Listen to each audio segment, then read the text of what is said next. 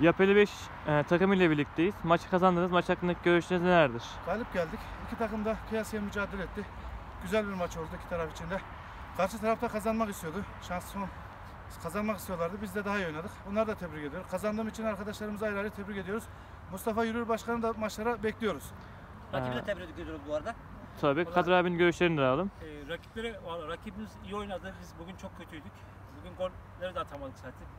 Gördüğünüz gibi. Ama arkadaşlar çok iyi çıktı. Bugün bizi yendiler. Ellerine sağlık, ayaklarına sağlık. Herkese teşekkür ediyoruz.